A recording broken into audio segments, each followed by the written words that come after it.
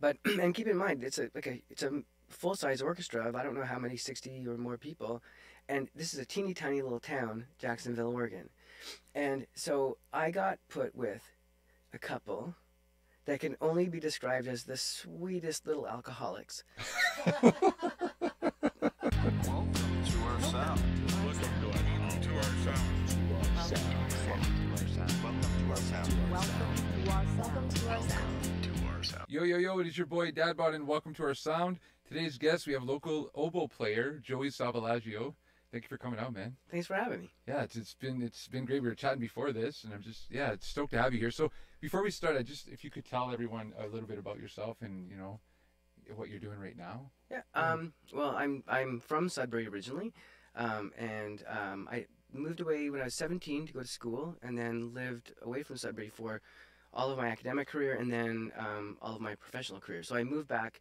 My last r- real gig was I, I played principal oboe in the Memphis Symphony in Tennessee for 19 years, and then I moved back here uh, about five or six years ago um, to be closer to my family, and it just was kind of lucky because it was just pre-COVID, so the whole orchestral world was kind of turned on its ear anyway. So it seemed like a really great time to be back. So that that so that's one of the reasons you're like, okay, I'll just go back and see. Well, yeah, You know, the th- well, it's funny. I kind of um, I fell a bit out of love with the with my job. in Um, Memphis. Yeah, Okay. with the whole kind of culture of orchestral playing, um, I just sort of, I I've gone through my whole life as a person who has just been crazy. Like I was sort of an oboe jock. Like I would practice all day long if I could. It was never a problem. I was in love with it. And then um, the I, I had a couple of physical issues and that made playing uh, a little bit more challenging, and it became a bit less fun. And so I ended up coming back. Um, while I was in Memphis, I was hired on uh, um, as a staff member as their education consultant or their education specialist, I guess is what it was called. So um, I was designing education stuff, and I started my own business where I was consulting with other orchestras to help them build um, education and outreach uh, materials. And um, when I was there, I piloted a program um, in the Soulsville neighborhood in Memphis, which is kind of an underserved. It's sort of where like Stax Records, where all like all of the kind of Memphis R and B stuff came out of in like the '60s and '70s. Oh, Um, what was the, the neighborhood? Sorry, It's called the Soulsville neighborhood. Soulsville. Okay. And um, I piloted a program where I worked with kids um, to use music to have them create a story, and then I put music and the story together for them. Yeah. And um, based on that, I just actually, I mean, this, I, I, I know as a disclaimer, lying is wrong. But when I moved to Sudbury, I cold called the Rainbow District and said, "Hey, I've got this." This um, eight-week residency that I do combining music and literacy. I was in, got in touch with this brilliant woman who was the, uh, then the arts consultant for the, the board. Uh, she uh, gave it the green light, and then I was I've been doing that. I've been doing um, versions of this this residency program where I use classical music, live classical music, to uh, inspire kids to write music or pardon me, write stories and just kind of embrace literacy. Yeah, that's sweet, man. So this all stemmed out there. You brought that. Okay, so I want to go down that road, but before we go down that road of education, how I want to talk about maybe as a kid how you got into because the oboe is a strange instrument to be kind of like that's my thing. So how did you get involved with oboe? Um, let's see. So as a kid, I just loved music, and my dad played guitar, and my sisters and I sang, and so we'd spend Sunday mornings like just singing Elvis songs, and you know, I mean, really, no one in my family was much engaged with classical music. So my greatest aspiration as a child was that one day I might be a member of the group ABBA. It was pretty much, you know, like that. It was kind of that. Right. So I thought, well, maybe you'll be like a pop musician. Um, and uh, then I picked up the recorder, and the recorder is very accessible. Yeah. Um, I, and actually, it's a totally legitimate instrument. When I bust out stuff on the recorder, kids don't get it. Like this was the instrument that was written for before the transverse flute by you know Telemann and Bach, like by legit composers. So Okay. people think it's a toy, but it's it's not, and it's really hard to play at a very high level. I'm okay, um, and I love it, but um, so I started playing recorder, and then I just started to play by ear the songs that we had been singing. So I just translated the little jam sessions we would have to the recorder, and then I did pick up the flute briefly, and I was pretty bad at it, or at least painfully ordinary. And then it's hard. That's, I find flute tough, man. It's hard, yeah. It's a tough one. yeah. Um, and then I, I nobody played the oboe, and I was that weird kid, you know, who was a little out of step, and so I wanted the thing that nobody did. right, right. Um, and I just took to it pretty quick. Um, I played for about a year and a half or so, and then I went to a um, a summer like a band camp on the recommendation of my, my, my band teacher here at Lockerbie. So uh, you how old? Just so we know, how old were you when you started playing the oboe? About 15? Okay, and Yeah. then the next summer, he's like, you need to go and yeah, okay, Yeah, so I went to this place, and this is like a great example of how being in the right time at the, in the right place at the right time is life changing. So I went to this band camp. There was a teacher there named Laura Seifert. She had been for years the principal oboe in the Kingston Symphony. She identified some aptitude, and so we made an audition tape um, for this school where she knew the teacher in the states, um, and it's called the Interlochen Arts Academy. It's like the preeminent boarding school, pretty much for the arts in the United States, or was at the time. So I didn't know any music, and um, so we recorded a couple scales and maybe like a like a couple lines of an etude. And she asked me like, what else did I know? And I used to hold my tape recorder up to the TV and record TV show themes, and then I would learn them by ear. Oh, nice. So yeah. my my uh, recording, my audition tape for the at the time the best school for the arts in the United States was two scales, couple uh, lines of an etude, and the theme from Murder She Wrote, which I mean that's that piano part at the end. It's it's, it's I- I I, have I to- make it look easy. It's not easy. It's not easy. I have, it's been so long since I've heard it, but that's oh, that's cool though. So you ended up out there, and were you you wanted to leave? You were looking to get away and go start somewhere else, do school somewhere else. N- Well, you know, no, not at the No? time. Okay. But so when I grew up in Sudbury, because I'm a little older than you, um, like I was in high school in the late '80s. I was growing up as like a little closeted gay kid in Sudbury, Ontario, Right. um, not knowing what to do with that. And then I get all of a sudden, by some miracle, I get lifted to a place where there's all of this artistic stimulation. The teaching was brilliant. I learned to love learning. The academic staff was incredible. Not that I didn't have great teachers here too, Right. but like there was no one there was no one um, uh, that to, to teach me oboe so i get this world-renowned oboe teacher dan stolper who was just like he's had contact with so many successful students and then also like i'm in this completely liberal arts environment i remember so when i was a kid do you remember did you ever you're probably too young but the tv show fame I know of it. okay Yeah, so there was it's like a school, right? They're yeah, all at this school. It's like the New York School of Performing Arts, and I would watch this show every week, and it just seemed so cool because all these really artistic kids. And so I was in the cafeteria one day, after having been at Interlochen for maybe a month, month and a half, and um, so at one point. Somebody rolled a piano away from the wall. They had like an upright piano. Somebody starts playing it. All the dance majors started dancing. People were like playing, and this is, was just like a, an occurrence. I mean, it sounds like I'm making this up, but it just happens sometimes. Yeah. I remember going, there was a bank of telephone booths. And I just remember calling my mom and just almost in tears, just saying, Thank you so much for sending me. Like, it was so incredible. It was such a great experience. Right. And I learned a lot. And so, had I not gone there, um, because I soaked things up like a sponge, also, when you go to a school like that, like, the kids had achieved so much. They these I'd been I'd had no training before I went there. Right. And you started at 15. I mean, Yeah. these kids were probably playing since they were kids. Yeah, like there are flute players who maybe started at four, and Yeah. they, they they had to watch what kids had achieved or could achieve at my age was mind blowing, and it really helped me. Well, because you know, it, I don't think sometimes it's easy to understand that something's possible unless you've seen someone do it. Mhm. And as soon as you see that, you think, okay, you I know can do what? that too. Yeah, I'm going to do that.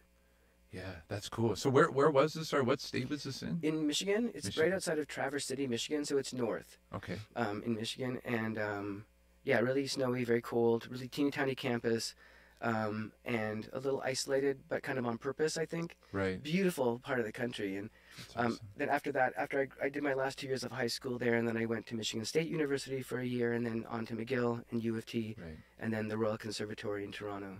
So, um, when at, at any point did you think like I want to try other instruments, or you were just married to this? You're like I'm an oboe player, oboist. I well, I loved the oboe, and it see the oboe. A lot of things on the oboe came pretty easily to me.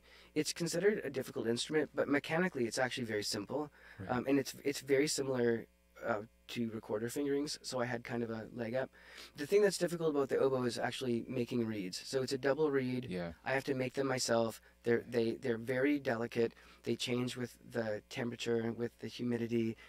I wouldn't use the same reed that I would use to play a Brahms symphony as I would to play a Vivaldi concerto. You have to build specific things into the reed. For what the oct for how what you're trying to play. Well, like octave, okay, or- for a Brahms symphony, I would want like a darker, deeper sound. right. For Vivaldi, it's important that you have really crisp articulation. So you have to build certain things into the structure. And to be honest, I was never brilliant at it. Like it was always a struggle for me. So that was also part of why I think I decided ultimately to kind of put down full-time professional playing was that it was a huge time commitment and and it's very expensive Right. and there are all sorts of tools you can buy and i was always trying to buy myself better at reed making you know you'd hear oh this person who's great is using this knife well i mean i'd be like uh, right away ordering that knife Right. Right. and then still be the same oboe player i was Did you learn how to make these reeds in high school, or how did like right away when you started? They're like, oh, by the way, you're also making your reeds. yeah i had no idea i had no idea that was going to be a part of it i've always been been a big fan of the arts not so much of the crafts Yeah. so when I when I found that out, I was like, oh, dude. So, um, my teacher in high school let me kind of slide a little bit on that, okay. so that when I got to university, um, I was kind of behind. Um, it was my fault, um, but and then I met. It's this is great actually. So when I was at Michigan State, I met a young oboe player. I was in my first year. She was in her fourth year. Her name is Carrie Darton. Really amazing, amazing oboe player and brilliant reed maker. That was like her great her thing. Oh. So she had in mind that we would date. oh, And I was like, I don't think that's going to work out, but you can make all my, you can finish all my reeds for me. So Right, we yeah. ended up beca- becoming really, really good friends. And um, she would finish my reeds, and she was brilliant. So I sounded like brilliant for a year. And then I, then when I got, when I left there after that year, I was left to my own devices, and then it was a bit of a struggle to kind of catch up. yeah. Um, and without a reed, you can't have a successful performance without having a decent functional reed. Right. That's a lot of pressure too. You're like, what if this thing isn't made right? What if I made a Right. mistake or something? Yep. But it feels like now, like when you play, I've seen you play many times, and like sounds great. Like so, you've got a handle on it now. Like I mean, not to my not to my satisfaction. Okay. This is the other thing. Like, so I can, I yeah, I can make a reed. I mean, like I would always say in Memphis, uh, I would I would complain to the second oboe player, oh, I can't make reeds, and she would always say, well, who's been making your reeds for the last twenty years? You. So yeah, maybe you don't love them, but you're making reeds. right, So um, I just know a lot of people who are really great reed makers, um, and it's a struggle for me. So there are aspects of my playing that I've never felt I was able to develop to my satisfaction. So you're playing. This is another thing that kind of contributes to like feeling healthy mentally in this field means that you know if I had a bad oboe day, I was a terrible person in my head. right. Okay. Yeah. So if I have a bad reed, kind of same thing. So if you have something stressful to do, and you think that the reed is going to provide you with an obstacle to a really successful performance, you have to walk on stage and you have to sit there like you feel great because somebody bought a ticket to come and see you. yeah. So there is that aspect of theater involved, and also your colleagues need to feel like you know what you're doing, that you're confident, because you feed off of each other. I mean, I'm sitting this far away from a person, so they're feeding off of my my Energy. vibe, right? Yeah. Are you in a in a like a like when you're playing? Would there be just you playing oboe, or are you are there other oboes playing with you? So in an in an orchestra in Memphis, which was a bigger, uh, like it's a medium-sized orchestra, we had I played principal, so I was in the first chair, and then there was a second oboe, um, and then there was an English horn player. She was um, English horn is just a larger oboe. It's Okay. tuned a fifth lower. It's a beautiful instrument, um, and so uh, there was a woman who was. I guess technically assistant principal oboe, so she would cover for me if I was off, and if we had the three-man section, then she would play the English horn. Okay. Um, larger orchestras have a four-man section, like Okay. Toronto. Okay. And in Memphis, um, so okay, so let, let's go back. So you were you're in Michigan because you you kind of you went to these schools and you kind of who's the like out of all these schools, I'm sure you had a lot of amazing teachers. Who is the best best teacher you've ever had? Okay, th- that's kind of it's difficult to answer. The, the easy answer to that is my last teacher in Toronto, whose name was Dick Dorsey. At the time, he was the um, the principal in Toronto. Uh, amazing, beautiful, lyrical player. Um, I had always been. I'd always had teachers who were a little bit on the um, sadistic side. Yeah, yeah, okay. Um, they we were talked about this before. they, they maybe weren't always um, they they came from a different school of playing and teaching where they had been torn down by their teachers and then built back up and so the first time that i met this this man dick dorsey he um his approach was different he was a kind and very gentle person a beautiful musician who every time you heard him play he would do something that was heart-wrenching um, and so I studied with him for my last year of, of study in Toronto, and he um, he is pretty. There, he's one of the reasons why I decided to continue. Um, there are so many like analogies that I cannot share with you probably on your podcast about like ways he would he would ask me to play something and he would like come up with some scenario. Actually, I can't tell any of them. I don't think. Alright. Ah. um, you can tell, you can say whatever you want, but yeah, absolutely. Yeah, well, you're comfortable. I, I don't. Okay, so I, okay, I'm gonna give you a beat, and then I'm gonna tell you a story, and then we can decide later on.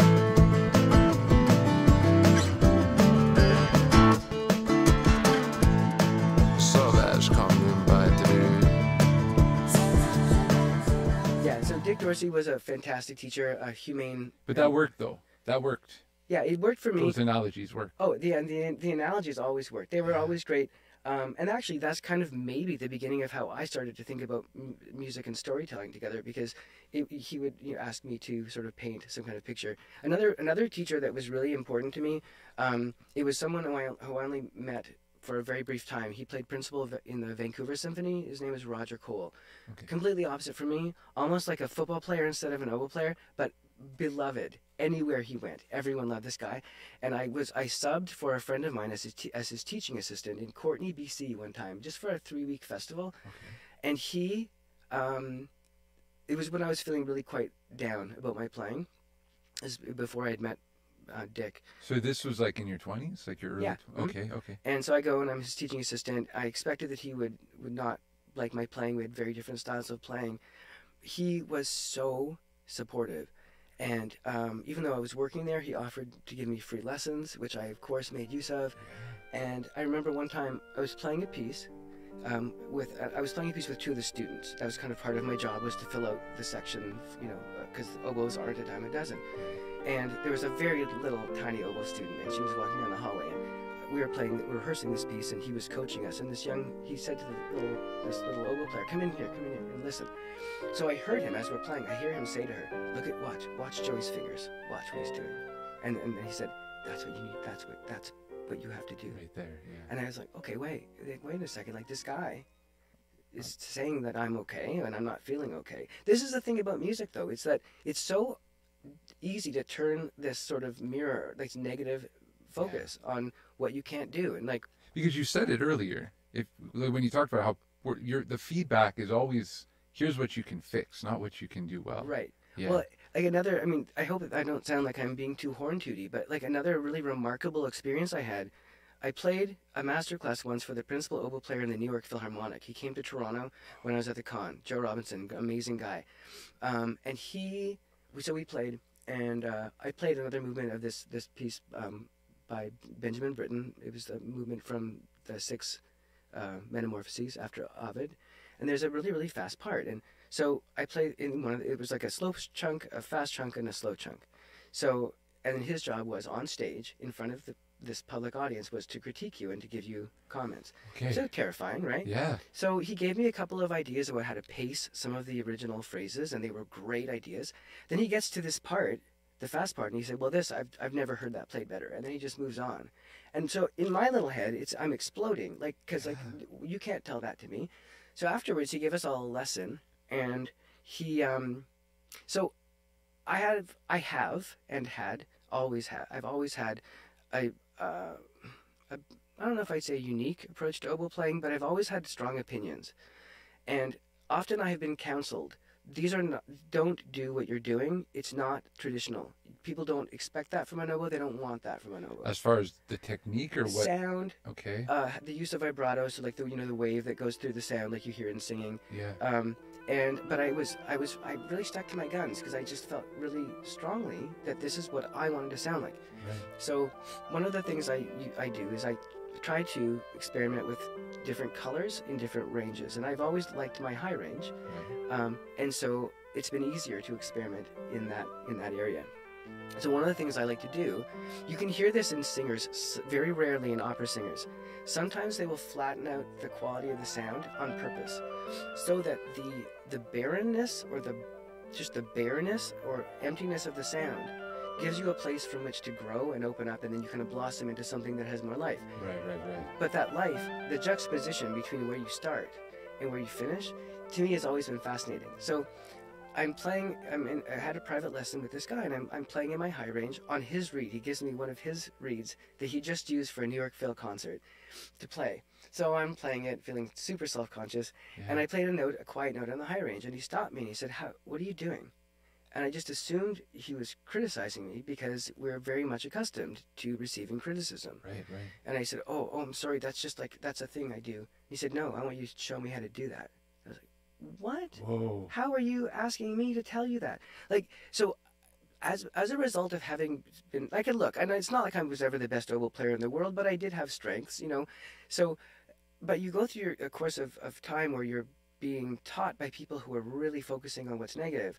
Whenever you get this kind of kernel of something positive from a person you respect, it, it's a little, it's like mind blowing. It- yeah, yeah, and it's tough to kind of receive it because you're like, whoa, like, Right. Oh, yeah, yeah. So and and like, but what I find really fascinating is that like, you're in your un- you're playing the way you want to play. It's a unique way that's unique to you, and he wanted that nugget. He's like, I want that kernel. Like, to, as a musician myself, I'd be like, holy crap, what I do is important to you. It was, you yeah. care? It, it's it's well, and the other thing too is that keep in mind that most professional musicians, not all, and certainly not all teachers, but people I think when they get an instrument. Uh, so you know what I always say, like putting an instrument in somebody's hand, it's like driving a tap into a maple tree. Except that instead of getting like syrup, you just get like total like ill-adjusted, cra- all your crazy comes out, right? Right, right. So a lot of musicians can't admit that they're not perfect or that they well again there's this theater you're not you're told not to tell people what you can't do so many people it's for like for a musician of that caliber to to say to me i'd like to do what you're doing I can't now do it. I can't. that's an do- yeah. exceptional that's an exceptional person who's able to say to a student i recognize this and your playing is exceptional you know and a great and a wonderful thing to receive So do you put that at the forefront when you're having those days where you're like, I suck?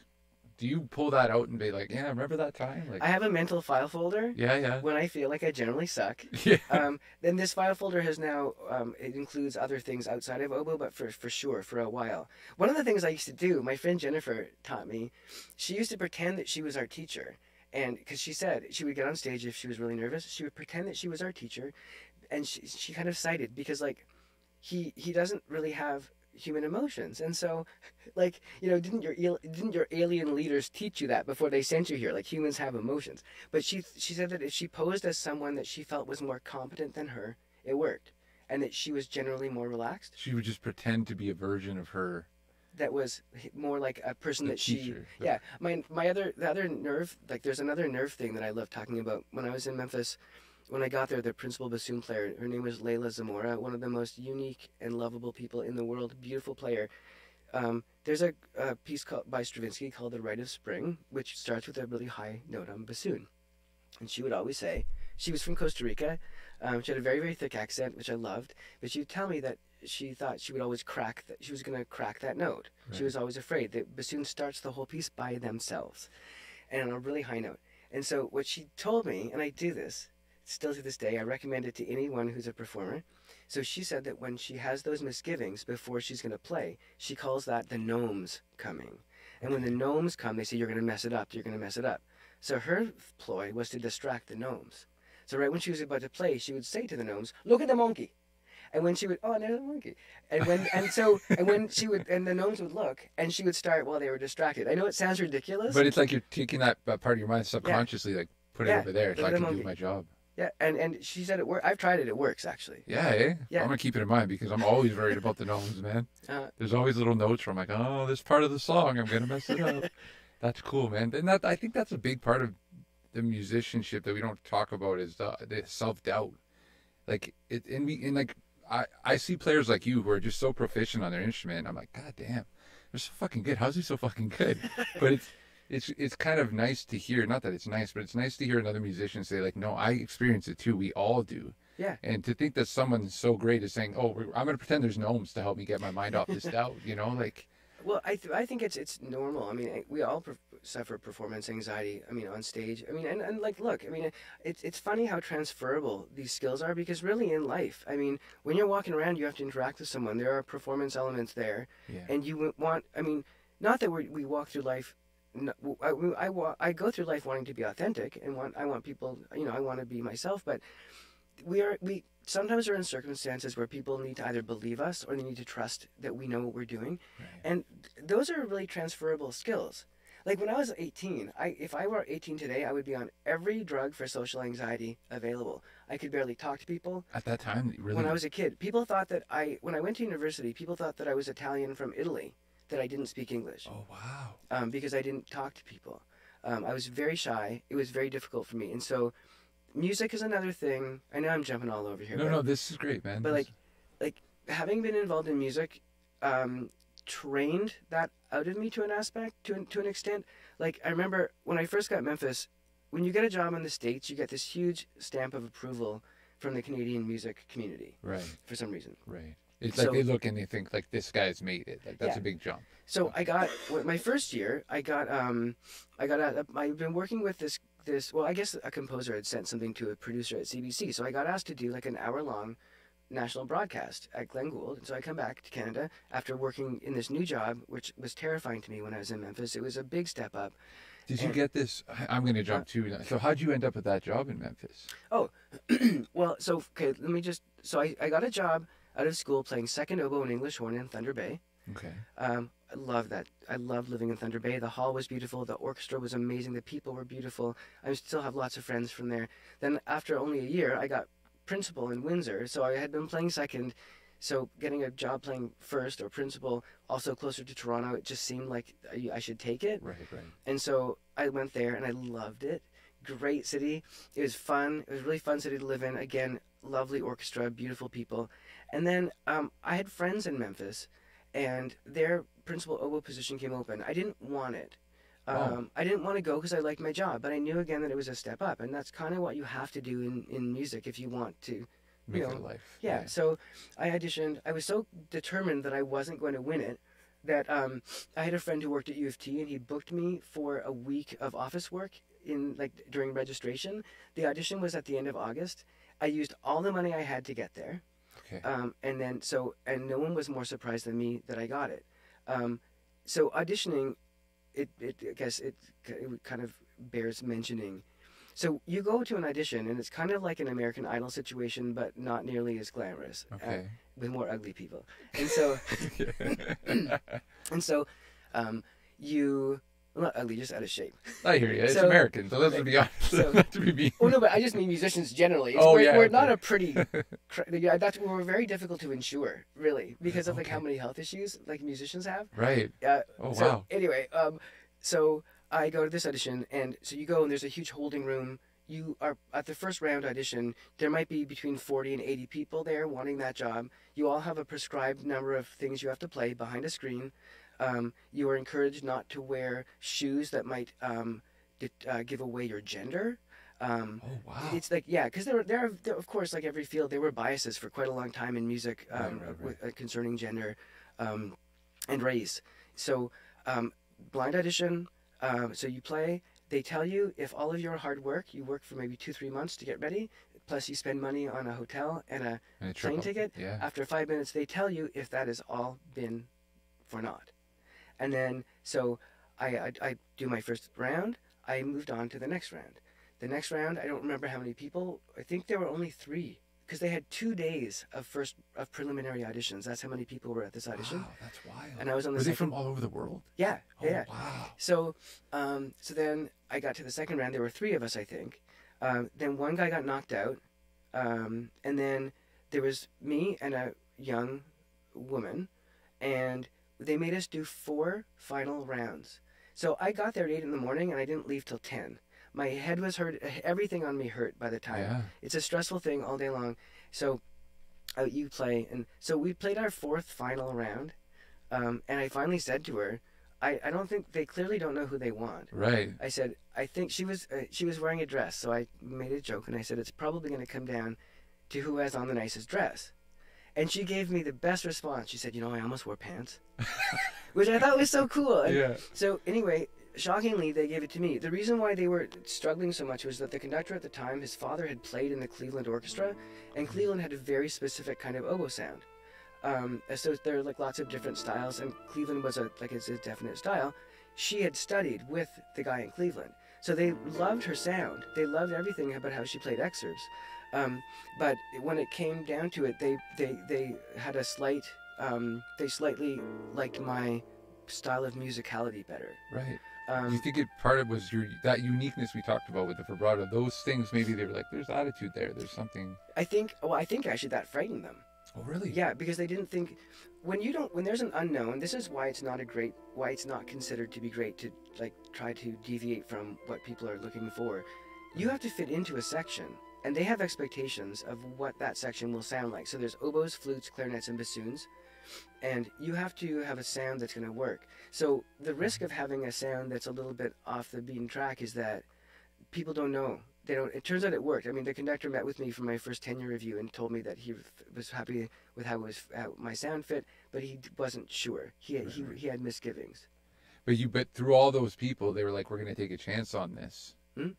That's crazy. Okay, so now you're there. You do a year, and you said you ended up on um, the the Glenn Gould Theater. Oh yeah, You so were doing a, a show there. yeah, so I got um, a producer from the C- from CBC, Keith Horner, called me. Um, he's a really good, fantastic guy, and he booked me to do um, a recital, and um, at Glenn Gould, and then I started getting a bunch of CBC work. So then I the next year I did one in Ottawa, and then I came back to Toronto, and then I did something in Winnipeg.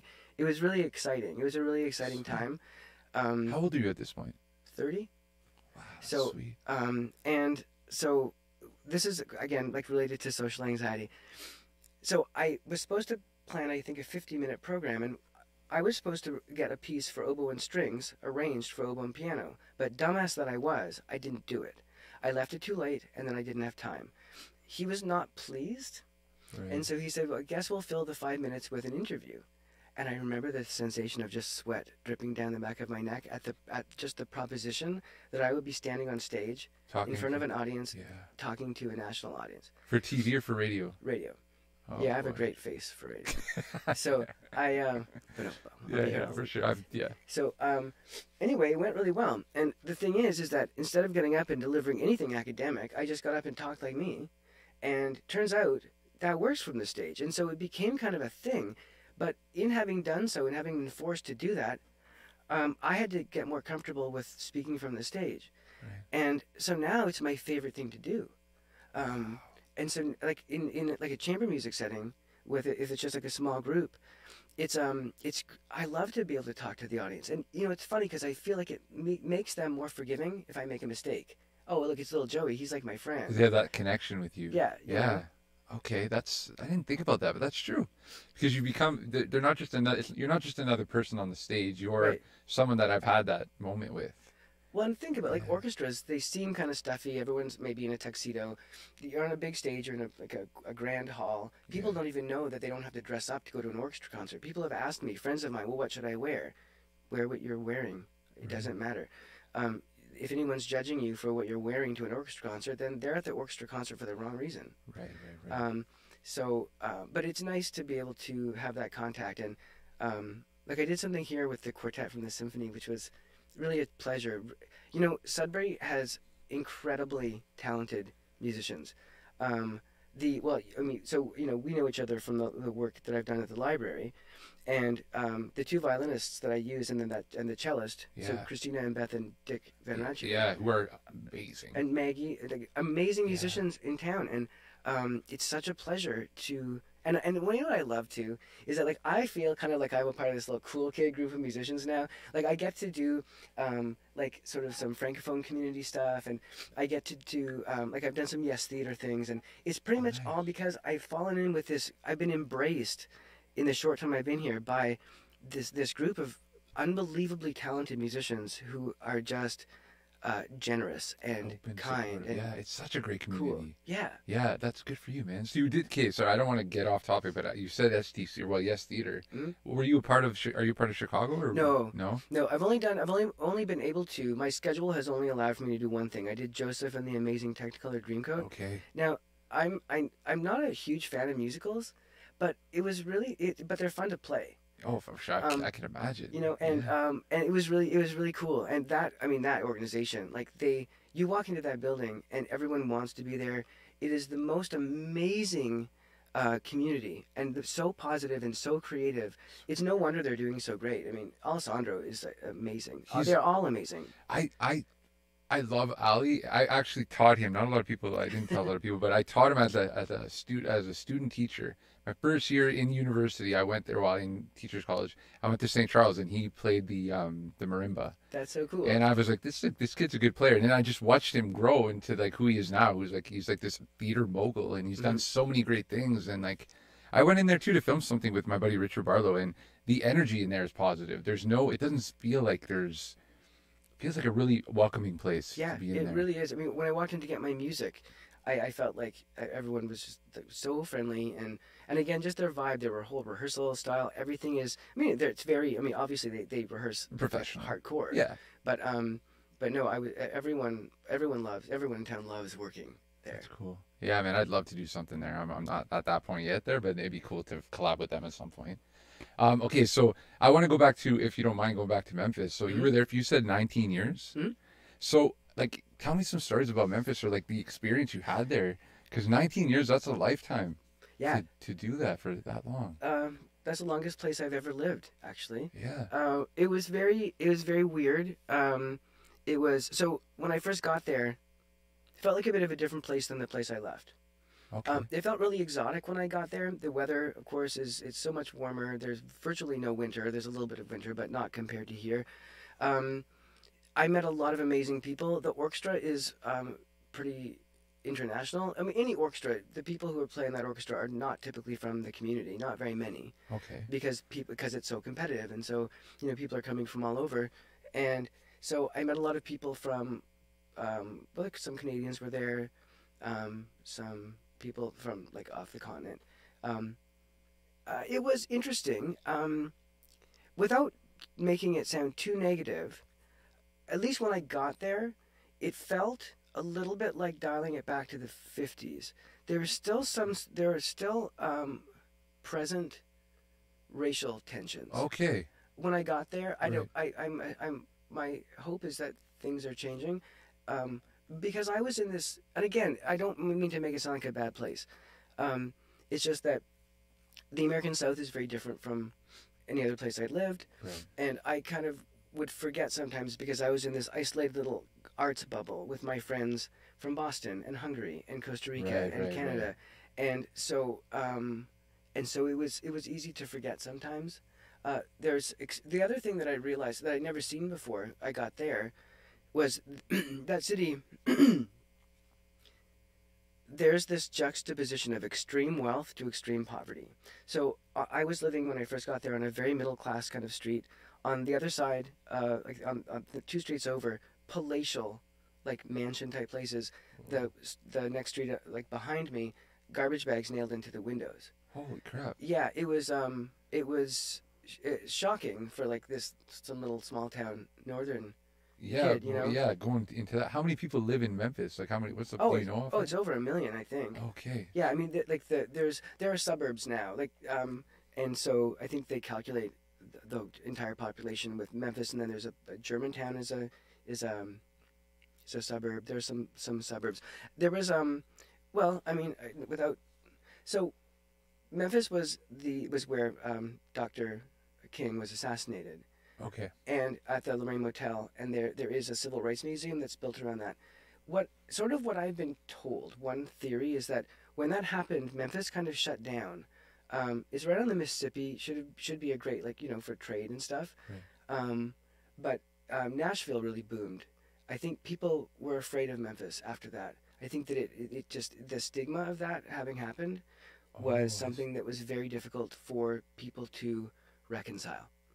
Um, Okay. I, and so I mean I'm, I won't pretend to know any of the real reasons. It just seems like to me having an event like that occur in your city is devastating. Yeah, traumatic to everybody there. Yeah. Yeah. Yeah. And when did that happen? I mean, you when did you go to Memphis? What Oh, I didn't get there until 2000. 2000. And then Dr. King died in was that the 60s? Yeah. That's a long time for it to still be like it's Well, still raw, I guess. You know, it's funny. I worked in Ireland two years, and um, people advised me, uh, you know, don't talk about politics. I was in Northern Ireland. Pardon me. If you, I, I did say no, Ireland to someone, and they got offended because I said Ireland, not Northern Ireland. Oh, They still sort of speak of the troubles in in um in sort of w- whispered tones, like you don't talk about things political with someone you don't know. really? Yeah, it was Wow. it was um they were it was kind of interesting that it sort of there were it's two sides of the different of it two different sides of the same coin I guess but there are elements that were similar between the When two places. yeah. I mean Ireland is a beautiful place. I'm getting so way off track. No, it's cool though. Okay, But okay, so now I'm wondering how you how you got out to Ireland. You said two years in Ireland. Yeah, well, just I went two times. Um, so when I started writing kids shows, I I did a I did a performance of a show that I wrote about the planets, and it has a mnemonic in it to remember the order of the planets from the sun. Okay. That I wrote into it because I couldn't remember the order of the planets from the sun. Right, right, right. And so um, I did this at, with um, a group called the New Ballet Ensemble in Memphis, and they gave me a dancer, and the dancer kind of took the audience through some some exercises with the music. It was very cool. But um, the founders of this festival in, in Northern Ireland, the Walled City Music Festival, were in the audience with their kids, and they liked it. So they commissioned me to write uh, two years in a row. They commissioned me to write um, an outreach program, and then they invited me um, and my partner Todd to come. He's an actor to go uh, to Ireland and to do a week long tour of yeah. It was it was so cool. It was it's a such an amazing place. And and at this point, like the the orchestra in Memphis, they're like, yeah, go ahead. Like you get like a sabbatical or some sort of leave that they're allowing. Well, it was they're only short term residencies, and it was outside everything. I would I would so the season in Memphis lasted from September to the end of May. okay. and then so you're cut loose for the summer. Um, people, you, I think musicians can apply for unemployment. As a Canadian citizen living there, working on a visa, it was not an option for me. Okay. Um, I crammed my summers as full as I as I could of other work because, um, so like I I think I told you I taught at a w- eight week summer music camp in at the University of the South in Sewanee, Tennessee for years. I, I another festival in Arkansas, the um, Hot Springs Music Festival, um, for a time, and then I for 15 years I worked. Um, I played principal oboe in this orchestra, three week orchestra festival in Oregon, in Jacksonville, Oregon, which was one of like it's a highlight of my career. Yeah. Okay. You seen that? I saw you light up when you mentioned it. So what was so great about that experience? Um, it was for, it was kind of agonizing because you um, you um, it's you have to play outside. It was at an altitude level that I didn't that I was unfamiliar with, or un, it was I wasn't used to. Oh, So making reeds was really hard. Um, what kept me going back was first of all they played amazing music. They were amazing soloists that came to work with the orchestra. Um, the people in the orchestra were unbelievable, um, and um, yeah, they, they I I just loved the people in that orchestra. And then so every musician was housed with a family, a host family. Now normally that wouldn't really be my thing. Right. But and keep in mind, it's a like a it's a full size orchestra of I don't know how many sixty or more people, and this is a teeny tiny little town, Jacksonville, Oregon, and so I got put with a couple that can only be described as the sweetest little alcoholics. I love them. I love them, and um, I I won't I won't state their name, but I do I love them, and we we still are in contact. Um, I consider them to be like a part of my family, and um, so it was a really rigor, rigorous schedule. So we would. I, I wish I could tell more stories about about my home life there, but we um it was a really tough schedule. So I would have maybe two days off in the three weeks, maybe three. Okay. So I would give them one of those days just to get me completely just have a good time. obliterated. Yeah, Yeah. Just let's just And- party. yeah, and and and um, they were so they're they are kind. They're they're um, like I said, retired and just really beautiful people, and they loved supporting the orchestra. They loved. I would come home after rehearsals or concerts, and we would talk, you know, over several drinks about you know uh, all the what happened backstage and why did this happen and you were like you a know, rock star to them. well it kind of felt like it you know Yeah. um, and that uh, and, and they were just they're like I said um, they're two people who have made my life inestimably better. That's sweet. Do you, and so you keep in contact with them. Yeah, I owe them a call. It's been a little while, but yeah. That's cool, man. The, the connections. I kept thinking, like, you were telling me about how you went from this school to that school. And it's like, as musicians, we're looking for that community. Because, Mhm. like you said, like, we, we think differently as musicians. Maybe we don't fit in with everyone. And like I just see your your journey of how you went from you found this community and everywhere you went you were able to find these communities of people that like that kind of feed you. They they fill your cup in a way, you know? I, I'm I am more fortunate than most, I think, in that I have um, there have been so many remarkable people who've been put in my path, not just in music, um, but but a lot of them musicians for sure. And um, one of one of the things that I aspire to do though is I'm that person who doesn't let you escape. Like I will Oh. I I maintain contact with people, um, and so if someone pops into my head, I just give them a call. Right, right, right. Um, and so I I call the principal oboe in the Thunder Bay Symphony. I mean, I haven't I played there more than twenty years ago. I twenty maybe thirty years ago. Um, I'd love to keep in touch with her. I have friends that I that I am in contact with from university. Um, in fact, you know, as a matter of fact, in Sudbury, all of the friends I made in high school were just pretty much whoever was within like hitting distance in the band, right? okay. well, right. those people have grown into remarkable adults. I mean, moving back here um, and sort of kind of picking up, and we were always in contact, but picking up, like, you know, having actual relationships with them, with them again. yeah, after that. oh, amazing, amazing. that's sweet. Are they musicians still? Um, no, No way. No. It's funny how there's some people eh, you see them and they're so good and then they just well, but I mean, it, it goes back to why being, why studying music is so important, especially when you're young. Like it teaches you things. I'm, I'm a much smarter person than I would otherwise have been. because of Yeah. yeah. like I know how to, I, you know, it teaches you to meet short-term goals and how to make long-term goals, how to focus, how to multitask, um, you know, concentration. Um, it's it's so great for your head. Yeah, and there's like a patience that comes with it too, obviously, because you're trying to practice and get better, and like you say, hit those goals. And but it's like a meticulous patience. Like this tone is off, you know. It kind of makes Right. you more like hyper. I don't know, like hyper um, perceptive on Well, certain things. How kind are you to yourself when you're playing? Oh, not very, not very. I- I'm a typical musician. I just vlog myself after everything I do. Yeah, and it now does that get easier and better? How does how do you get rid of that feeling? Because like I like you said, you're probably not there yet, but you're getting there. Well, you know, to be quite honest, um, I feel like that. Well, with me, it was never going to go away. Okay. that's part of that was also part of what I kind of grew tired of um, was never because you know having so I did play this past year I played principal with the symphony I was one of their like two contracted members and then I built built their education stuff for the library system and um, and it was fun I mean I met some really great people but it reminded me because I I you know during COVID when when I left Memphis in like 19 oh sorry 2019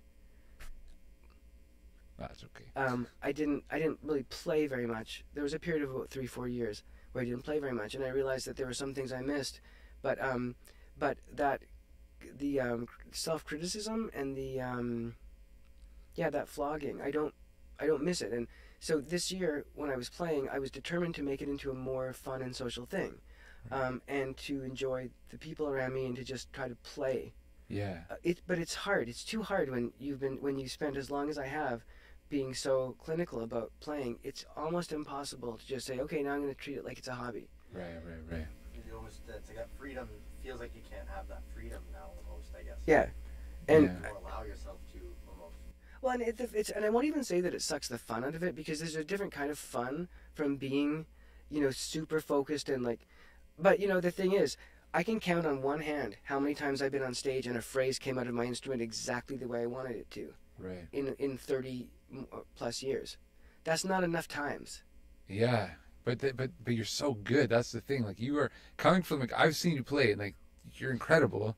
but to think, but just to hear that, like you're hearing it from me, but you're like in your mind, you're like, well, there's all this stuff you're not aware of, Eric. Like you know what I mean? right And it just it's crazy how it's like the only hobby is it. It's not a hobby. It's more than a hobby. It's like a calling, but it's the only thing where you're just like you're never fucking good enough. Yeah. No matter how good you are, you're always like I suck at this. Well, you know, it well, it's true, and like, um, and I don't want to. So, I'm the the oboe is still a very important part of my life, and, and now we, I'm kind of shifting towards using music for more, like for teaching more, um, and just for kind of youth development more.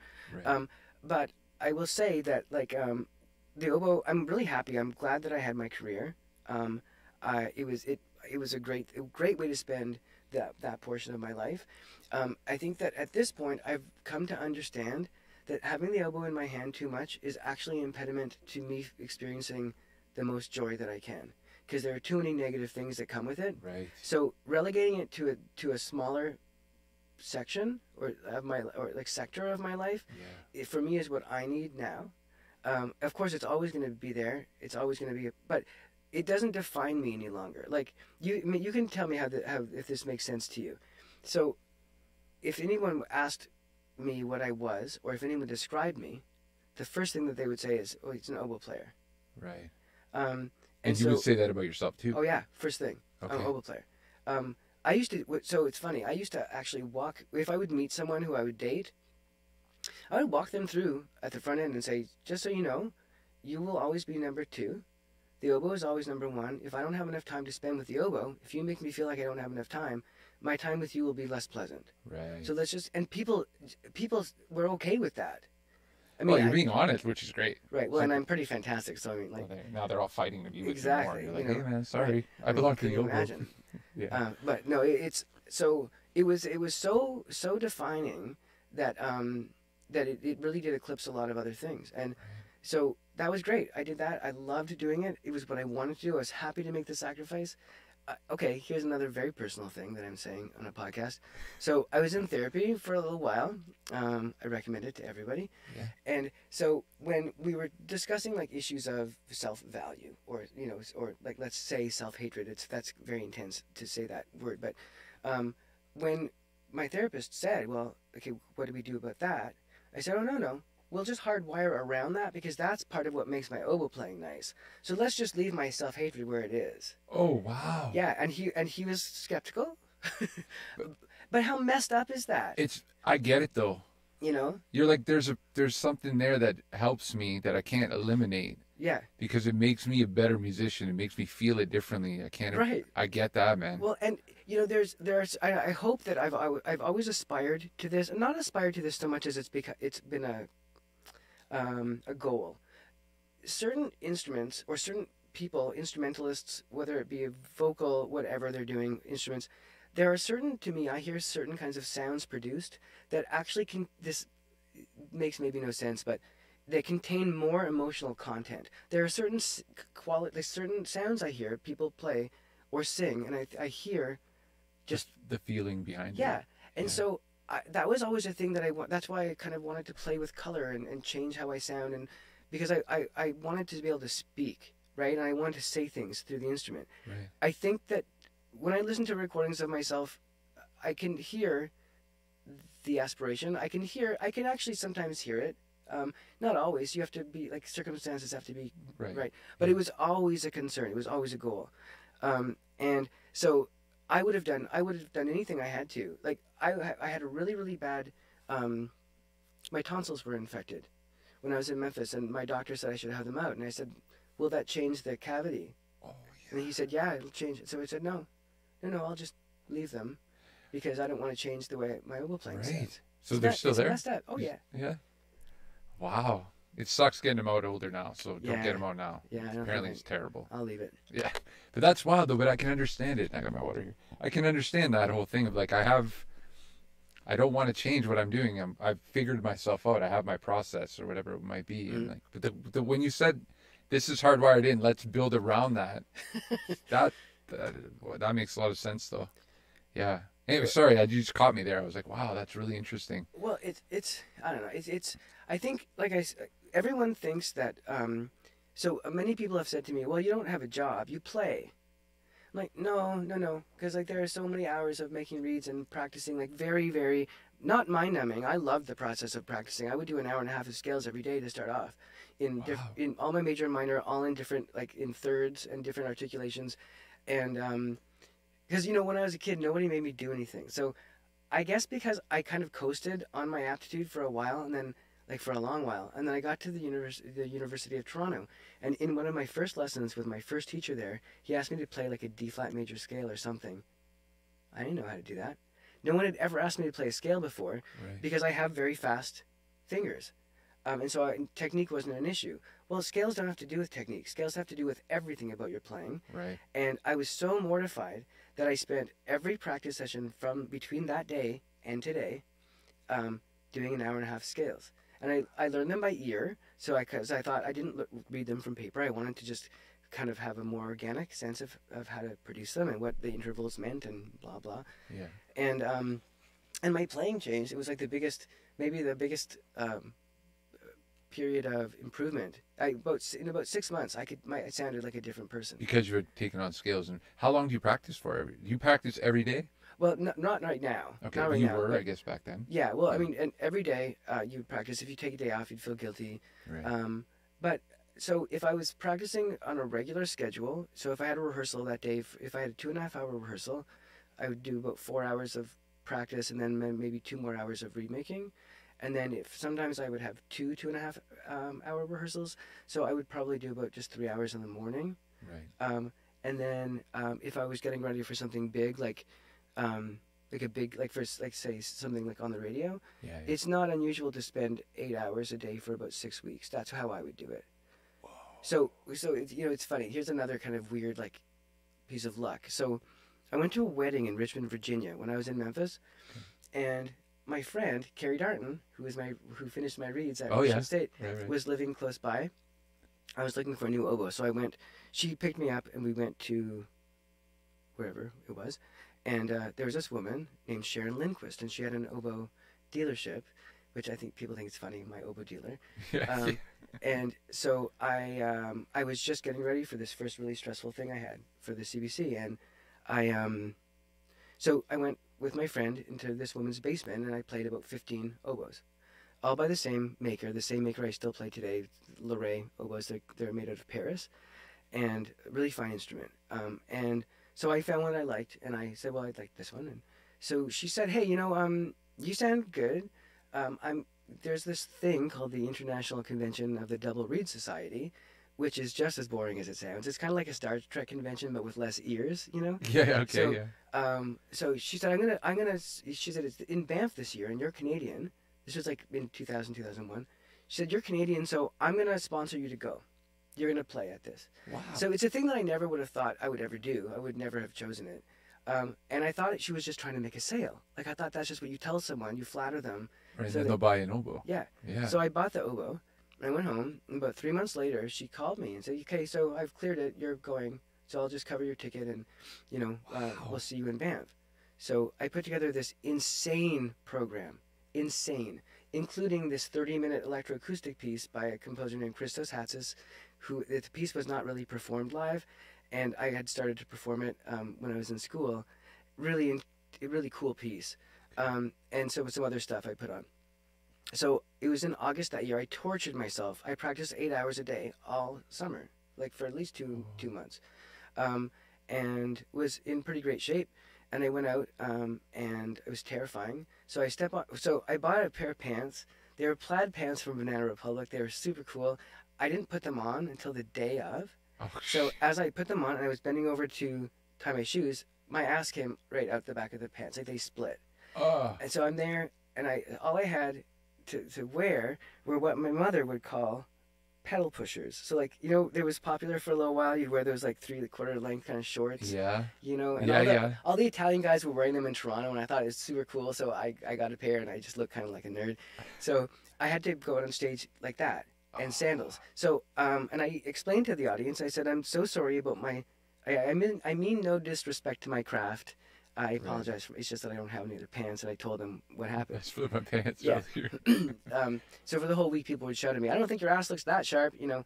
Um, so uh, at this concert, the sitting in the front row are is the owner of the Lorée Oboe Company Oh wow. and his, I think his daughter, some of the most influential teachers in the country at the time. My very favorite um, uh, oboe soloist, who was based in London in the UK, and the room is full.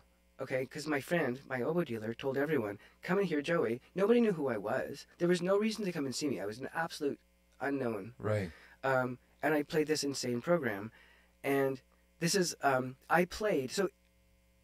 Even if you're prepared, hyper prepared, the best that you can hope for in pub in public, or what's a great go- thing. Aim for about eighty percent of what you can do. If you can hit eighty percent of your potential in front of people, that's a successful performance. Okay. I hit about ninety-eight percent of my potential Wow. in front of these people. That's sweet. Okay, so um, the response was very positive. Um, Lorraine gave me an oboe. Um, and um, and then sponsored me to do a number of concerts over the next several years. Wow, Where was that? Like all. Uh, like in, I think I went to North Carolina, Austin. I was supposed, yeah. There, like there were. It was. It, they they even like paid for my pianist to come um, meet me. It, it was a it, again. This was during the whole CBC time, so I was feeling. I, w- I felt like a complete fraud, to be honest. Oh, I yeah. Okay. So I'm getting all this attention, and um, and I did feel like a fraud, and I just and I uh, but It's funny how you feel like a fraud, but you're spending eight hours a day practicing like a fucking professional, right. and still your mind's gonna tell you you're Yeah. not good, Joey. Well, right. Yeah. And but it was super stressful. But it was I felt kind of fancy for a second, but it was really stressful. Like that, it was a very stressful period.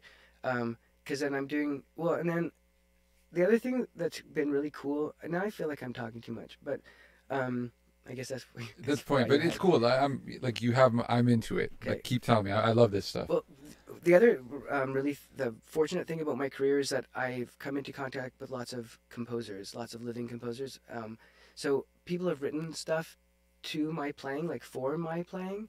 So um, I've been lucky enough that um, That's really cool. That's I've really had two pieces written for me by a composer, Eric Ross. One of them was a concerto that I did the world premiere in Memphis, and then there's an oboe player named Elizabeth Raum. She's a very, very uh, prominent female Canadian composer living, who wrote me a concerto that I did with the Winnipeg, the Manitoba Chamber Orchestra, um, and then some uh, work for piano and oboe by Beverly Lewis. She's based in Toronto, um, and a piece by Lothar Klein. He was a, a, a professor at U of T, a composition professor. Um, and this and Christos Hatzis, who wrote this amazing piece that I played, I was terrified of him.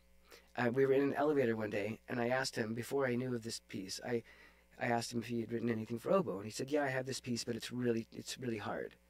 And so I just was silent, and he he asked me if I circular breathe, which I do, which is just I can breathe in through my nose while I keep playing um, and force It's really uh, impressive. It's super cool. He's so- done it a few times there, and he, he just Yeah, so I can play for like several, like ten minutes if I wanted to, to without stopping, if, unless my mouth got too tired, or more than that.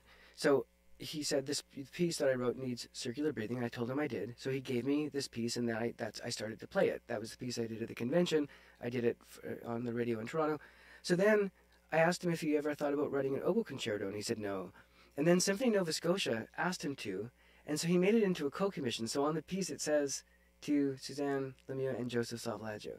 Like it's which is pretty cool. Yeah, dude. You know, That's uh, so cool. I haven't had a chance to play that piece. I don't know if I'll ever get a chance to play it. The orchestral parts are so hard. Um, okay, yeah. So you know, I've been that like I've been super lucky. Like that's I work really hard, but there's an element of luck. Like there's good fortune in there too. Yeah, but when it's coupled with hard work, I mean, you're you're creating your luck at that point. Like to sit there and work eight hours a day and go and, and hit ninety eight percent of how good you are in front of these people, like you earned that. It was you put that the blood, sweat, and tears. that was pretty cool. Um, and um, but then you know, okay. Well, I'm I'll leave there. There is a negative side to it too, because then people have this expectation that every time I would play it would be like that. Oh, 98 percent. Yeah. Yeah, and it just was. That's not the case. Right. That's good. It's kind of refreshing to hear because when you said like if you hit 80, it's a good performance. I'm like, oh, okay. Mhm. You know, that's not so bad. I'm like hitting 60. I can get a bit, bit higher. But that- dude, that's so cool. The fact that like you've done all this stuff. And how old were? Like this is all in, in your 30s when you had. So now you, you said that you you walked around saying like I'm an oboist. That was your identity. But now you've taken that step back. What's your identity now? It's about teaching the next generations. Yeah, well, so I don't I don't teach music. So I just I use music to help kids embrace literacy, right? So I I, I developed this this thing that I I um, I've taught for the Rainbow District here in Sudbury and for the CNIB nationally. We do that's an online program Okay. um, where I use music to uh, inspire kids to come up with story content that then we develop into a like a cogent like linear story. Yeah. and then um, I, I put and actually some of the kids will create music. And so there's a we make a soundtrack the the participants record the story and we make like a radio play or a video out of it depending when you say make the music, do they hum the melodies in your no? No, no, no. Like I have a kid.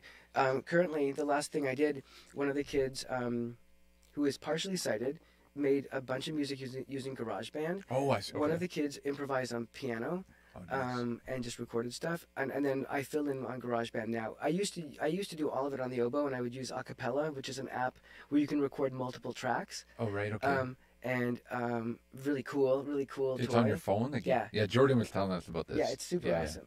That's cool. Um, and so some of them I'll do I'll do multiple um, uh, tracks of oboe. Okay. Um, and but and then you you've seen the, when I do when I outfit a story with music to do live, it's always with a live group of musicians and um, and we try to what I thought was really cool. So we've worked together for a year. And when we first started working together, the librarians were terrified of what I had done for the first book. So previously, uh, the, the musicians would play something, the librarian would read, Right. you'd know when to stop. You turn the page. The musicians would play something, and that was people were really comfortable with that format. And there were some a couple librarians who were terrified. Um, I can. I understand why. so yeah. well, the, the first book, which um, uh, Quinn. Yeah. What was our first? It was Von uh, Sounds of the City. yeah, Yeah.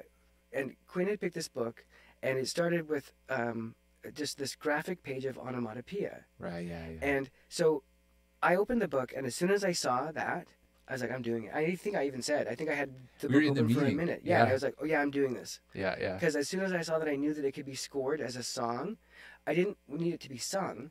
I just wanted to draw to the attention of the audience the comparison between rhythm and notes in music and um, composition, like syllables in language. Right. And so to make that like a, to make that connection meaningful, I just set these things to music. So that I wanted it could have just been rhythm. It could you could have tapped it out on a drum. It would have been the same idea. Right. But I turned them into little songs. Yeah. And it was um, awesome. It was pretty cool. Oh my god, dude! It was that's I just I had just started, and I I did that. I still have the poster on my wall because I'm like, this was the coolest program I've ever done. That's oh, and cool. and the idea of like community, like I'm in with a bunch of other musicians, and I felt like I'm keeping up. I'm like I'm reading with them, and like it was so fun. And the fact, go ahead, sorry, but I want your, to. your background as a musician like certainly paid into that. So I, I, I'm and yeah, that's why I kind of said I'll do this because just being able to keep up and read, I was like, okay, I know we can keep that rhythm going, where I'm where there's no weird lulls or anything. I just know like that's ending. I can kind of bring in my my words or Mhm. whatever, tell my part of the story, and then you guys come back in. Like it was so cool, and you wrote all those parts. yeah. So um, mainly what I do is I um, so I did what two books and then we did that uh, a movie program at the end. Uh, Yeah. A movie. uh, Yeah, we did. We did. music. Yeah, we did the um, Sounds of the City, Rock Paper Scissors. Yeah. and then we did the movie music. Yeah, So what I typically do is I, I just um, I re- read a story. So with the onomatopoeia, I composed the music that accompanied that, obviously, and then but like for the other the other music, much of it would would be like popular music from the classical canon. Like I you like to use some things people recognize, but also some obscure things to make it fun for musicians. I want to write challenging things so that we have to work right, right, because um, I think that for a, for a kid to see a really committed performer, it, then it just it's more it's just more impactful somehow. You know, I see people people who perform for kids. And they're like, oh, whatever. I don't want to do this. And I love playing for kids. Any every audience deserves the same kind of respect and the same quality material, which is why I started designing these things because nobody had meaningful material for me to play for kids. So I just did it myself. For rock paper scissors, So. I came up with, I composed the battle theme. Um, so the battle themes for rock, paper, and scissors are all original compositions that I wrote. And then when, um, so when they battle um, someone or a character in the story, you hear their theme. Then when they battled each other, I would take, I would splice the themes together. Oh, nice. Um, so I, if rock were paper, we're doing paper, then I'd have uh, begin with the rock theme and then end with the paper theme and kind of make it work somehow. yeah, yeah. Um, those were fun programs to do. dude the, the, the like i want to go into composition because like we talked about your your career as an oboe player as an oboist but like when did you start composing because this it was great stuff man it was it was so fun like i i yeah it was very impressive Um, I okay. Well, this is I- don't know. Do you have a like any any um, music notation software? Do you have anything? i i i know about audacity is that one i know That's like more editing. okay i know garageband had it there was Okay. an element where you can go in If you, because you have a music background, um, this is um, there's a fantastic free software called Muse Score, M U S E S C O R E. Okay. Um, it's constantly updating. I want to say it's Canadian, but I just want it to be Canadian, so I'm not sure. Okay. Um, it's a free download. It's super easy to use. It's a notation software, so you input note notes. Um, you can have as many instruments as you want. You can have a whole score. You and then and there's a playback, so you can hear how it sounds. So I'd been looking for something free because there are things that are very expensive that you can buy, um, and I was I was cheap. And especially when I was beginning this business, I wanted to start with a zero cost model. I wanted to show people that you can find effective free things on the internet. That the only thing you really, the only essential that you need is time and creative capital. Right. And so everything I used when I first started was free, and much of what I use now is free. Did you start in Memphis? You were Yeah. doing this in Memphis. Okay. Yeah. Yeah. So I, I just wanted, I started to just like find cool bits from orchestra pieces that I thought I could reduce down to like three or four voices. Right. So I would do that, and then, um, and then I started do, using it for these, these education programs. Then I started getting commissions from other orchestras to write shows for them. I would use that program, and then one day I was just sitting down and I thought, well, just try to write something. So I gave myself like this ridiculously small parameter. I thought, well, write a theme and variations on row, row, row your boat. Okay. So I just, you know, put down a bunch of things. I didn't know. Um, and it sounded like music. It turns out that by virtue of having sat down in an orchestra for as long as I have, like I paid virtually no attention, dur like in, in school, about any theoretical aspect of music. So this is not based on training. It's more, it comes more if I'm inspired. Right. So I wrote this thing, and it was really cool. It was way out there. And then I was making a beer run to the CVS there in Memphis, and I thought I'm going to write a minor, it's like a sad uh, variation. And Of that my- same row row your Yeah. boat. Okay. so I'm in, I'm in, I'm walking, and I, I started kind of hum, like singing in my head. And I came home and I wrote it down exactly as it was in my head. I didn't, I didn't change a single note, um, and it's solid. Um, and so I wrote a series of about, oh, I keep hitting this. That's okay. I wrote a series of about five variations, like a theme, and maybe four or five variations. And I was so I used to go and study with the woman who used to play second in Detroit, like well into my into my career, because she would just help me kind of. At the end of a season, she would just kind of screw my head off and screw it back on straight. We'd make a bunch of reeds, we'd play together. Really amazing person and great teacher, um, Shelley Heron. Um, she teaches at Western now, and um, so I was there one time and I said, "Oh, hey, look at this funny thing I wrote." And I had my computer, and she said, "Oh, can I have the music to that?" So I'm like, yeah, okay, sure. So You could just print it off MuseScore. Okay. so um, so I'm in Oregon. I'm at a gig one time, and I'm just scrolling through Facebook, and the principal in Detroit was retiring, and they were having like a little party concert for him, hosted by the oboe section, and it said on the bottom, "Music by Beethoven and Salvalaggio." And I thought it was so hilarious. So they play this like so it's been played like you know um, I've played it at, at, at the Double Reed convention and it's I we've it's been played a couple times and it's pretty cool. Yeah. right? So do you get like do you you really you get off on composing, or is that something you just it's a means to an end kind of thing. No, thing? I love it. Okay, to, yeah. sit down and to, to to sit down and do something, or sit down and there was not a thing there before, Right. and you leave and there's a thing, a new thing that you made. Yeah. Like um, I write birthday songs for all of my closest friends, Nice. um, and because how often does someone write a song for you? yeah, that's cool. Um, I always write them. I'm a terrible singer, so I write them with like big leaps that I can't make, just because it's stupider, you know. right. Right. Um, and then I just write like a joke that like all of our like little jokes inside of a song, and but it's it's it's actually a really cool um, exercise to write down, just to sit down and play with some chords. Do you write music? Oh yeah, dude. Okay, That's yeah, all I do. cool. That's like my number one thing. But I don't. I, I'm not classically trained. I'm like I I grew up playing guitar in garages. You know what I mean? Like I never. But I wasn't trained. I virtually okay. If you're assuming that to compose you have to study composition or you have to know theory, I am proof that you don't have to. Right. Um, because I like I said, dude, I did not pay attention in school. yeah. You, Um, I my only interest was I wanted to play the oboe. The oboe was fun, and it made me feel like I like there was meaning. Like, meaning I found meaning in like your, playing. that was your purpose. I didn't care about Yeah. any of the, the rest of it. The rest of it, I what I did, I did begrudgingly. Which now I realize I'd be in a better place had I not been that like that. But all that to say, I can sit down and pretty much write music. Well, you've heard. I mean, I can pretty Yeah. much write music, Yeah, it's Um, good. It's so like it's it's it's awesome. but I mean, It's wicked. but I'm sure that what you're doing is also wicked because like you don't have to know. You just have to have a good. You have to have a sense of taste about how you're gonna just put your chords together. Yeah, and and there's a feeling. I, I'm more of like like I don't. You're probably like this too, but when you get that feeling, you're like that feels right. Yeah. You know, there's like this internal filter that Mhm. we kind of write through, and yeah, yeah. I get all my jollies from writing. I like I could I prefer writing over playing. So do you like just take? Do you put down chords? Like do you write them down? Uh, I, I'll write with guitar, I'll, and I'll just remember it, and then I'll obsess over that progression, and then I'll build on it. I'll put a drum beat in, I'll put a bass line. Uh, you know, where am I? What feeling do I want? That's kind of Cool. how. Yeah, so Cool, I'll write full songs, um, but it's it's like with lyrics and stuff like that too. And you write the lyrics as well. Yeah. Is that that's hard? I find. It it's getting like once you find your process you know it, it kind of gets easier but yeah it, it's difficult. But again there's this internal filter where i'm like those don't work. Those words aren't right. Mm. and then some other words will come through and i'm like oh this kind of got through the filter. I think this is good. So i just kind of got to trust my process. But i think you you could probably relate like you like when you have a way of doing it you kind of learn this works best and you Mhm. stick to that way then you get caught in the trap of like maybe it's going to sound the same as the other stuff that Right, i've written right, you right. know what i mean so are you looking to write more like the way you have been Um, yeah, like I so when I was in Memphis, I started writing a kids ballet. Okay. Um, that so it was not just for kids. It was it was going to be a ballet um, based on a superhero. So I used to play this superhero video game called City of Heroes, okay and the very first character I made, I thought it was a funny name. I called her Ladybug Lady, and so I incorporated that character into into a kids show that I did.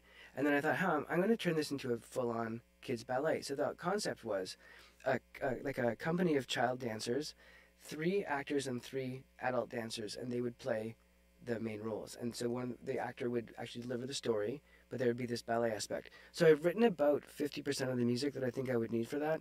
Um, and I and much of it is is actually I think pretty solid. I've read a lot of it with musicians who have been and pretty- the, they've been pretty positive about it.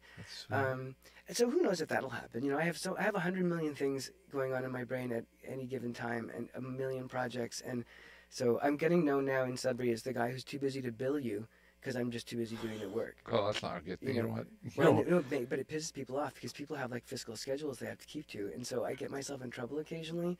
oh wow Yeah, because I'm they're like, well, you know, you're supposed to give me an invoice, and uh, we have to get rid of this money, so you better go ahead and do it. yeah yeah yeah you're like well i just love doing this and That's the thing. yeah. I mean, I do need to actually live, but Right. but you know, but it is you know, the thing too, and I think you can tell this from the library stuff. Like it's, I do. Here's a thing I struggle with, and I don't know if you can give me some advice. Uh-huh. I do a lot of work on when I do a, a thing. I, I do as much work as what is necessary. I'm not necessarily doing the work that I'm being paid for. It's always going to be more work than what I'm being paid right but I don't know how to not do that much work because it needs to be done because the quality has to be such that it's something I'm proud of. yeah How does one seek commensurate pay? Is it possible to be that detail oriented and get paid for it? That's a good question i don't think it is i don't think it is because yeah it's tough because there, there's no money in the arts Right. so the money they're giving you you're like oh wow okay i'll yeah that's good i'll take that 500 bucks that works Right. But like you say, yeah, the, the if you want something really good, yeah, you're gonna have to. I, either you pay me more, or I'm gonna have to give my my own time. Yeah, but then you get a personal feeling of, Mhm. you know, out of it. Well, I can't put something on stage that I don't think is qual- is a quality product. I can't Right. do it.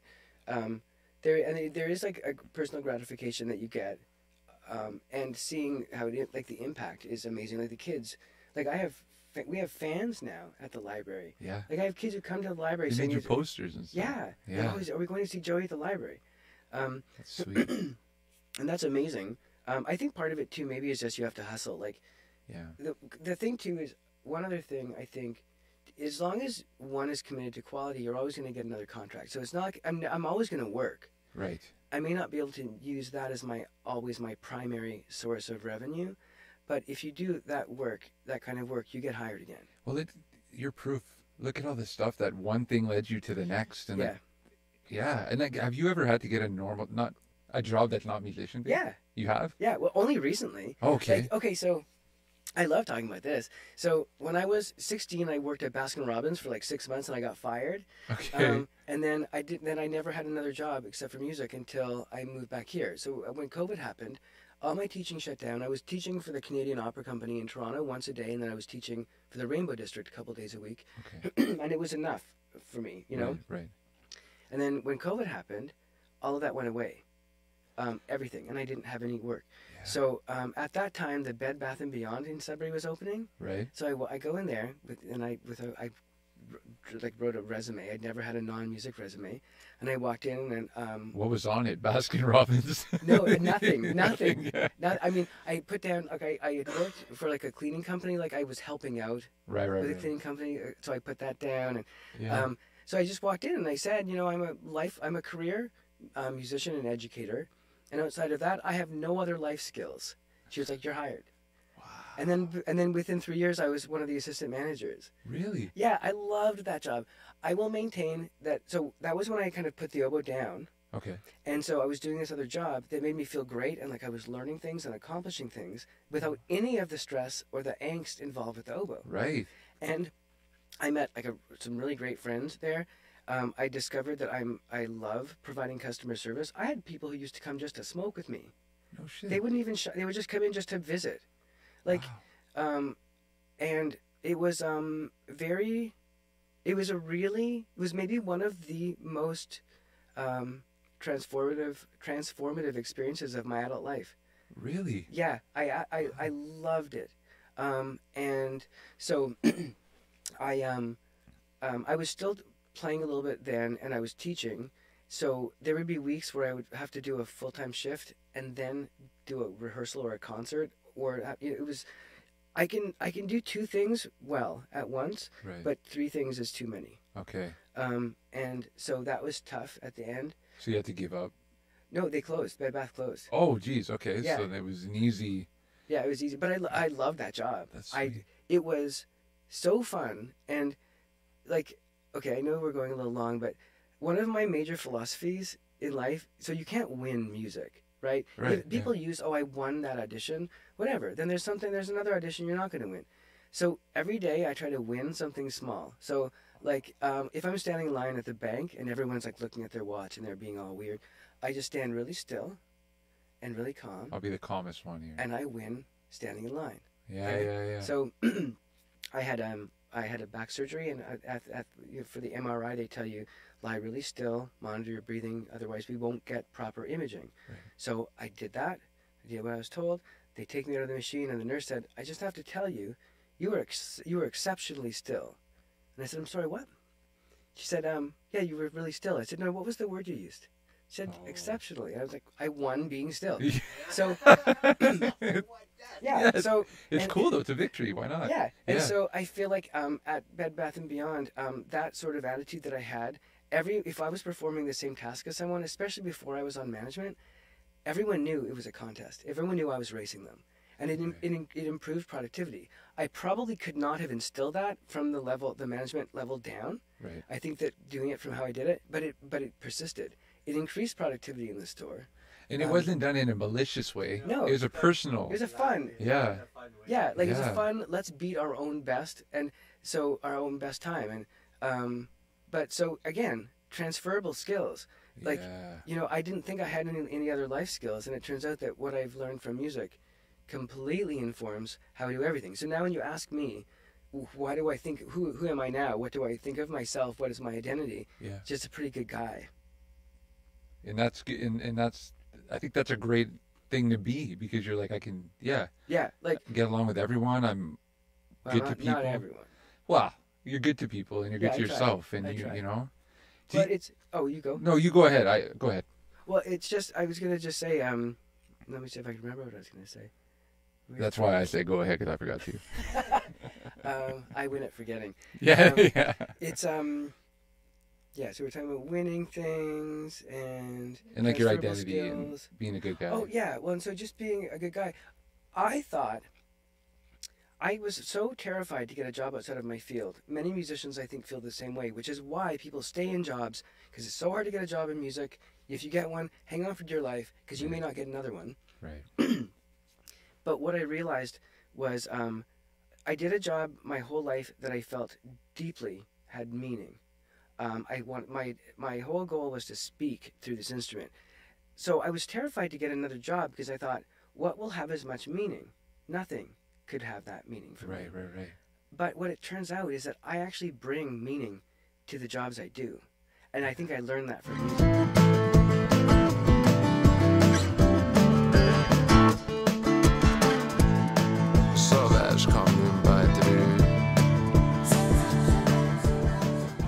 If you had told me 10 years ago that you would be talking, raving about your experience of, of working in retail, a thing you'd never done, Right. I would not, I wouldn't, I would not believe you. I would scoff. But what I found was at Bed Bath and Beyond, and actually in my current position, um, what I, th- what the, it's so meaningful for me to be able to actually impact someone's day. People come in to a, an environment like that, especially where I am now, and they have a struggle. A lot of the time, if they have to fax something or whatever, they're not, they're not doing it because it's fun. There's, they're, they're troubled Right, they, right. there's something happening um, and for me to be able to make that to facilitate that process and to make that easier and to show some humanity you can't even believe the dividends Yeah. that, that the payoff from that is amazing and so again like i said i feel like i am at a point now where i do think of myself as a pretty good guy i mean i'm trying to get better Well, yeah, but- that's. I think that's a good thing. We're all trying to. Right. You know, yeah. but I think that what I've come to understand is that, um, yeah, we, at the risk of sounding cliche, um, you, I think we we bring meaning to what we do, and Yeah. that is, I, as far as I'm concerned, that's how I want to spend my life. So whether it's teaching, playing, whatever I'm doing, Giving meaning, be- giving. yeah, Yeah. I want it to be intentional. I want it to be impactful. Do you think the person who hired you at Bed Bath and Beyond saw that Yeah. when you said, "I I got nothing since Yeah. I play oboe"? She she actually handpicked me to work with her in the warehouse because she said if he's a musician, musicians get shit done. Okay, that's that's good. I'm glad that's a good uh, thing that people think about us Yeah. because you know a lot of times a musician they're alcoholics, they're doing drugs, Right. you know. So there's more than just that, kids. Musicians get things done.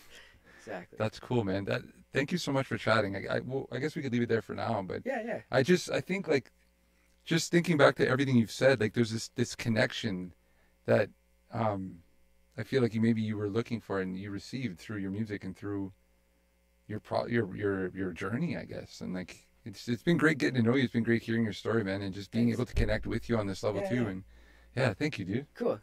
Sweet. Thank you. Anytime you want to come back and chat, and maybe we'll play some oboe. And actually, I did have a question, Okay. really quick. Um, Eric. I Yeah. was I was picking you from the class. Oh yeah. Yeah. Okay. uh, yeah. Thank you. Um, I was curious if I ever wanted to do um, so like write music, but then write it for someone that such as yourself to come in and re- like. Have you done studio work? Like, is that something you're? Yeah, I, I'll be honest. I don't love it. I, I do. I've recorded a bunch of. I recently recorded some stuff on um, a Stef Paquette. Oh, um, yeah, yeah. album. Um, love that guy. He's amazing. Yeah, he's Um, cool. And um, the the thing is, so with the oboe, the oboe has some production sound that comes. Um, if you, I mean, I have some production sound. The recorded sound is always weird for me to hear. Okay. Like, um, I, hopefully, like I have, I have some music that I'm gonna drop by you guys, so you can maybe incorporate it in this. This is done in like it's one of the only recordings I have that I kind of like. It's a completely controlled studio environment. It was I had a producer. I we Right. got a hall, like a really lovely hall to do it in. Um, so the oboe, my oboe, my oboe sound is poorly recorded unless it's like kind of in a place. But there's like you can always like do- if you're willing to like doctor something up a little bit, slap on a bunch of reverb. You know. Yeah, yeah, You yeah. know. We can. That's what I was getting. Like, I would imagine that that instrument is you. It, it- it's supposed to be played in, like you said, a hall, right? So it should have this, this, this reverb, this natural reverb that you're expecting To get the right- room. yeah. Right. So to record it some somewhere like this where the, the sound's dead, there's no echo. It would just be like blank Yeah. there. Yeah. and that's It, the room you're in almost is a part of the instrument, I guess. Well, would almost be. Yeah. You know, well that's that's why like so in Thunder Bay they have a gorgeous hall. Um, Memphis had a very nice hall, um, and in a in a in a finely tuned hall, like when acousticians finely tune a space like that. Yeah. So in Memphis, I could play, and I, I there were times where I could kind of spin the sound in a certain way, and I could almost feel it like hitting the very back. Like you could just feel it carry. Right. Um, and it was that is a remarkable that's a remarkable thing to hear. And just because the way it was the treated acoustically, Yeah. that's interesting.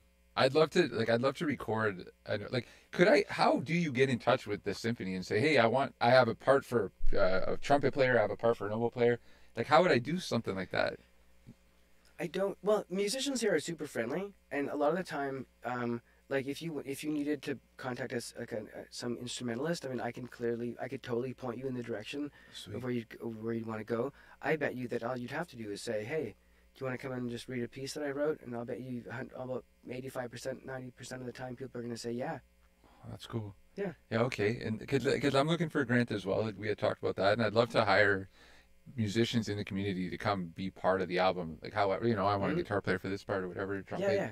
But yeah. Okay. Cool. That's good to know because it's the, the symphony is something that like I grew up in the valley. I didn't know we had a symphony until I was like into my 20s. Like Mhm. I just knew that music was for, for people that wasn't me.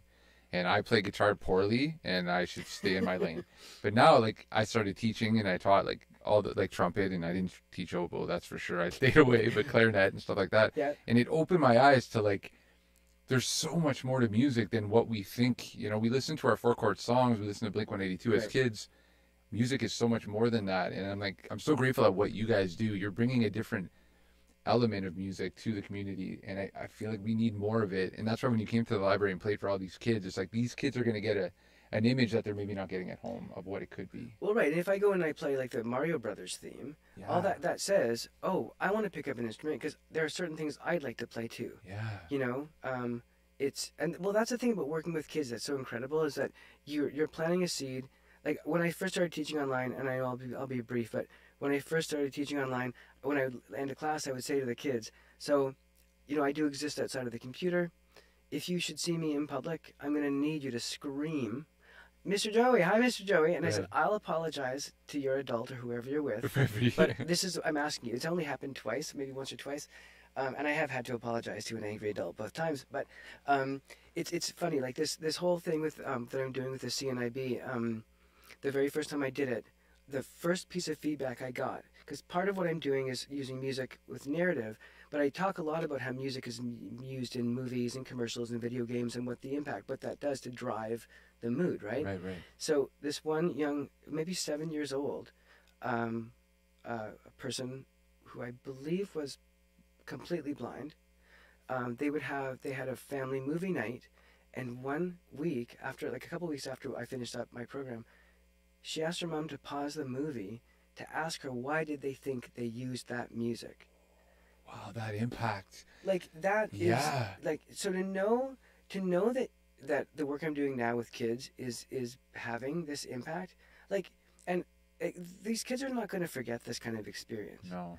you know and and frankly they should be getting more arts based experiences and it's just tough to find so um yeah it, it's i'm just i'm really psyched about what i'm doing now it's a, it's a it is having kind of decided to put down full-time professional playing this is the best way for me to move forward towards something that's really gratifying and mm. makes me so happy and can actually improve the life like the life of somebody else Yeah, that's so cool, man. And they need it. These kids need it to, and like that would blow my mind too. The fact that like when we watch movies, even even as adults, I know there's music, but it's not the first thing I'm thinking about. Right.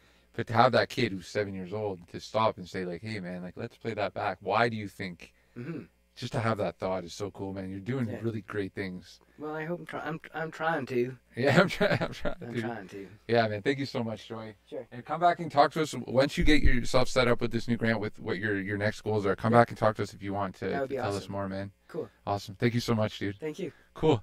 Okay. Thank you, Joey. Welcome to our sound.